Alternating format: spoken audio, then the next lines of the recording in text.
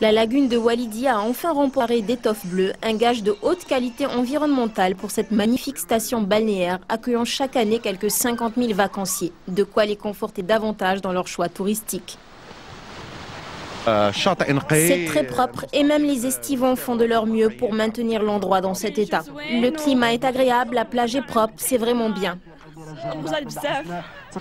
Élevée au rang de patrimoine mondial par la convention Ramsar en 2005, la lagune a fait l'objet d'une attention particulière en raison de sa spécificité écologique. Les efforts ont porté leurs fruits.